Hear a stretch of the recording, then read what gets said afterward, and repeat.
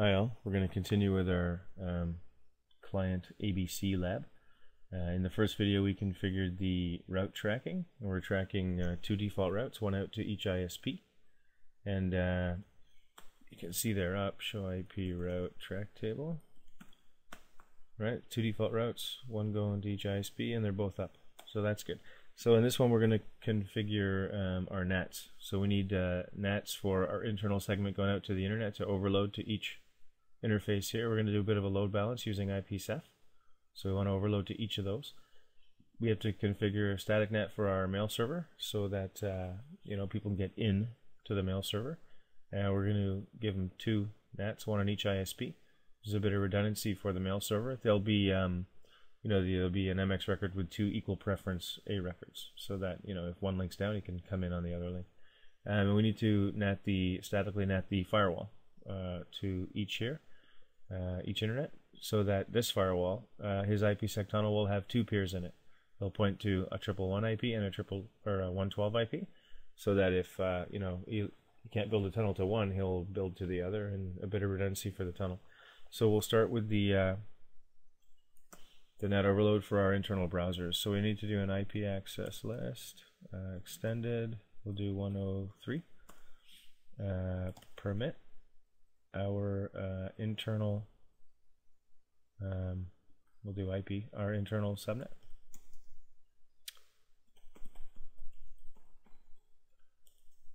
Uh, going anywhere. Okay, um, and we will do a route map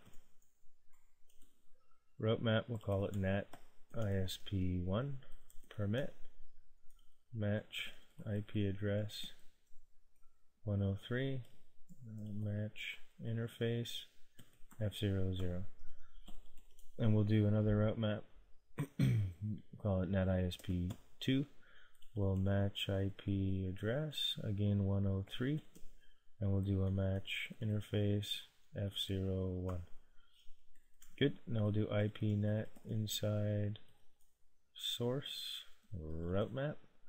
Uh, NAT ISP.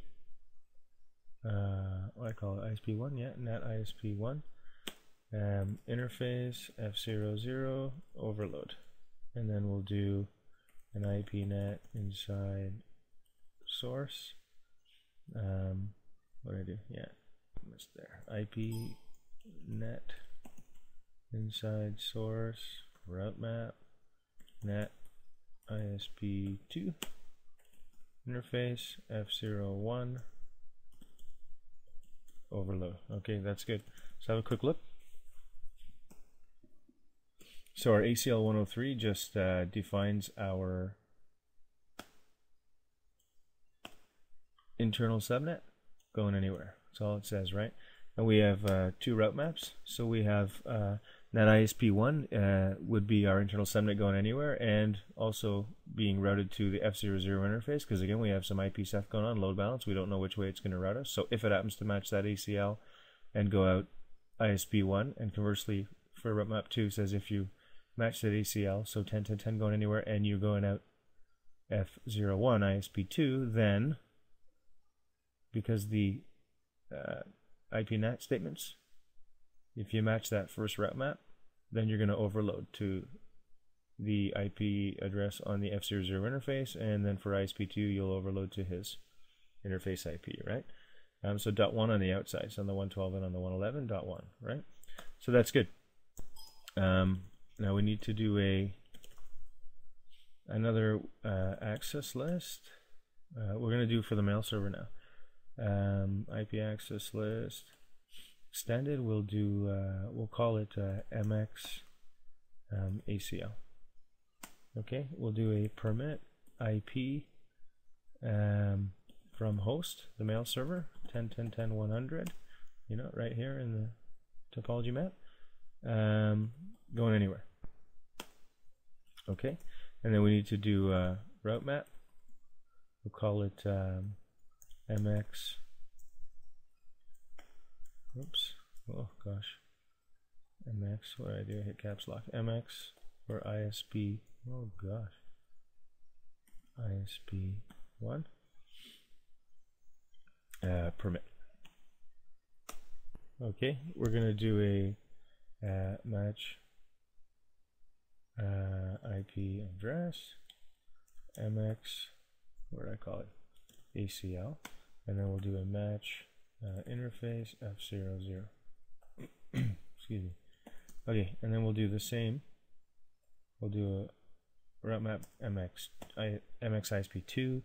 We'll do a match IP address um, MX ACL. We'll do a match interface F0 1. Alright, so now we'll do an IP NAT inside static. Sorry, inside source static. Um, our mail server. And what we want them to be on the ISP1. We'll make them dot 100. And then route map uh, what do we call it? MXISP1, right? MX ISP1. And we'll do uh, same thing, IPNAT, inside, source, static, the mail server to what we want on ISP2, dot 100 again, route map, uh, MX ISP2. Okay, let's have a quick look at that. So again, we defined one ACL that just says uh, the mail server going anywhere. We called it MXISP. Uh, we call it MXACL. So our, our mail server going anywhere. We had two route maps. again, one for ISP1, one for ISP2. Um, there's our NATs track here, MX, right? So, um, oh, that's the track. Sorry, yeah, okay. Scared me when I saw the 101. That's the wrong route map. So we've got route uh, route map for MXISP1 if you're matching that mail server going anywhere and you're matching this F00 interface. And then conversely for I ISP2, you match that mail server going anywhere or the F01 interface. Um, it's and is bound to our route map, right? So we're adding the mail server to this uh, IP when that route map matches, you know, the mail server going out ISP1.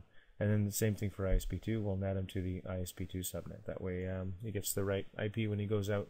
You know, uh, depending, you know, doesn't matter which internet he goes, he'll get the correct NAT to the correct ISP uh, subnet.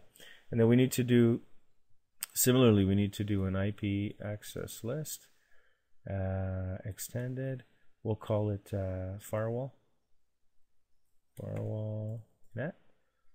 We'll do a permit IP from host, our firewall, going anywhere. And again, our firewall is on this intermediary 11.11.11 subnet, right? His outside's dot two. Um, we'll get out of there. We'll do a route map. We'll call it uh, firewall ISP1 permit match IP address uh, firewall. Oops. What do I call it? Firewall. Called it NAT. Firewall NAT. Okay, that's fine. Firewall ACL might have been a better one, but that's fine. Um, and match uh, interface F00. And then we need to do another route map. Getting the hang of this now, right? It's all looking familiar. Route map, firewall ISP2 permit. We're going to do a match IP address, firewall uh, NAT. and then we're going to do a match interface uh, F01. Okay, now we need to do same thing. IPNAT inside source static our firewall IP to what we want to be on the ISP1. We'll use .50 on either internet and then route map uh, firewall ISP1. Right, and then we do an IPNAT inside source static firewall IP and what we want them to be on ISP2, we'll make them .50, and then route map, firewall, ISP2. Okay, um, I don't think I have time to show you because I'm uh, I'm at about I'm almost 10 minutes now. Um, but it's the same thing we just did for the mail server, right? We've got the ACL permitting the firewall going anywhere.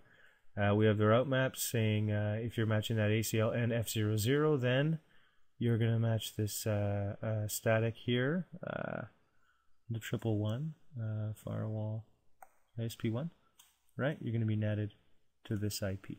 Um, it's a static, so you can get inbound access on that too, right? So that's it for our NATs. um, that's good to go. And we'll talk about probably IPsec a little bit in the next video. Okay, thanks for watching.